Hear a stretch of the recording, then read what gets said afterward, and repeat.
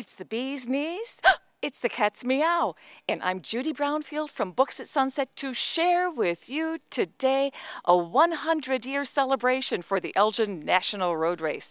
Sunday afternoon, August 8th, from 10 o'clock until 3, experience the turn of the century to celebrate these amazing old cars. We're going to have watermelon seed spitting. There will be three legged races, ball and hoop, and kids with cute clothes and Jazz coming through the sunshine.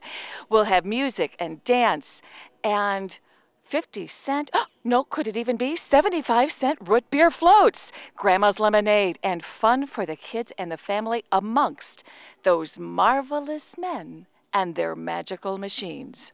To make this magical afternoon possible, the City of Elgin, the Downtown Neighborhood Association, and of course, Sherman Westcourt, along with the Elgin Historical Society, will add flavor, panache, fun, and sparkle with jazz on this Sunday afternoon with the family. Great. Hi, Jeff. Steve Thorin here from the Fox Valley Model T Club of Elgin. We really got an exciting event this year with the reenactment of the Elgin National Road Race, which is uh, celebrating its 100 year anniversary.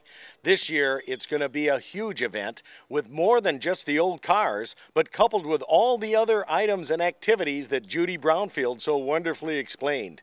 But of course, the Fox Valley Model T Club's been putting this on for many years, but finally, the 100 year anniversary, we've actually got the original race car that won the last race in 1933 that'll be back here on display for the event. We'll have the American Legion Color Guard headed by Don Sleeman to kick it all off, as well as Mayor Ed Schock.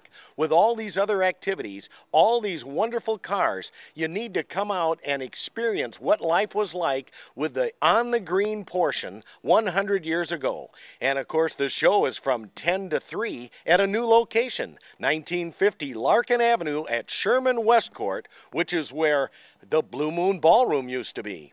At 3 o'clock is the spectacle. All the cars will line up, and the Boy Scouts will do their color guard and release the cars. They were there 100 years ago, and they're 100 years old too. Off we go for the parade lap to drive the race route that it actually was. That's Larkin Avenue west to Coombs, north to Highland, back east to McLean, and back to Larkin. Eight and a half miles. Make sure you come and experience the fun. August 8th, 10 o'clock to 3. Join us!